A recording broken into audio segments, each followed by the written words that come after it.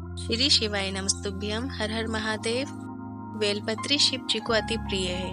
बेलपत्री की ज़रूरत हमें, उनकी आराधना में, उनकी पूजा में पड़ती ही रहती है। चाहे वो सोमवार का दिन हो, या प्रदोष का दिन हो, शिवरात्रि का दिन हो, सोलह सोमवार हो, या कोई शिव पूजा में ज़रूरत पड़ती ही रहती है तो क्या आप बेलपत्री को सही तोड़ने का समय आपको ज्ञात है?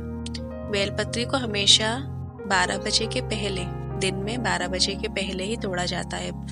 स्नान आदि करने के बाद ही बेलपत्री को छुआ जाता है। बेलपत्री को सोमवार के दिन नहीं तोड़ा जाता है। आप एक दिन पहले रविवार के दिन तोड़ के रख सकते हैं। जब आप यदि सोमवार के दिन पूजा अर्चना करते हैं तो कुछ प्रमुख तिथियों के दिन भी बेलपत्री को नहीं तोड़ा जाता है। जैसे चतुर्थी तिथि को बेलपत्री को नहीं तोड़ना चाहिए, नौमी तिथि के दिन बेलपत्री को नहीं तोड़ना चाहिए। चतुर्दशी तिथि के दिन भी बेलपत्री को नहीं तोड़ा जाता है और अमावस्या के दिन भी बेलपत्री को नहीं तोड़ा जाता है। इस बात का विशेष ध्यान रखें। ऐसे ही और वीडियोस जानने के लिए चैनल को सब्सक्राइब ज़रूर कीजिएगा। हर हर महादेव, श्री शिवाय नमस्तुभ्यम।